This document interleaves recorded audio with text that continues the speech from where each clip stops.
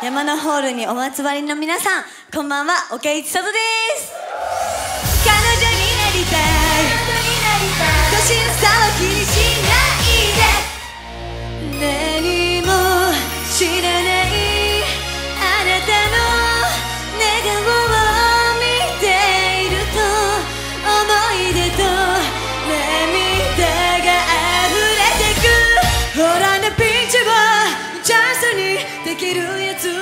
勝利をつかむラッキー。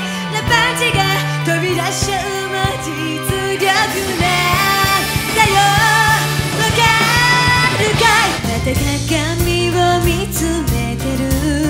ああどうして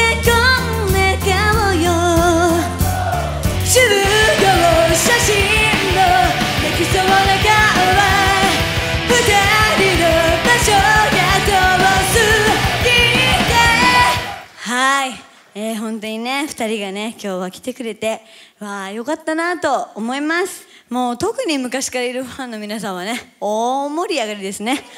いや本当に嬉しいです。こんな時が来るなんて思ってなかったので。どんなに愛して